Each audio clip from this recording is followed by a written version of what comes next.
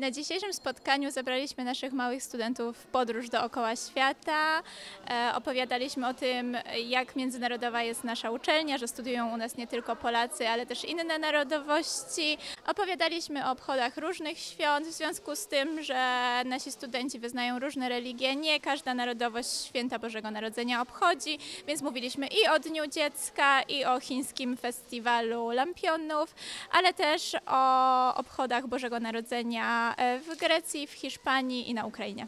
Na zakończenie taką niespodzianką dla dzieci była wizyta świętego Mikołaja, który wręczył prezenty, robiliśmy też sobie zdjęcia, było bardzo wesoło i mamy nadzieję, że dzieciom się podobało.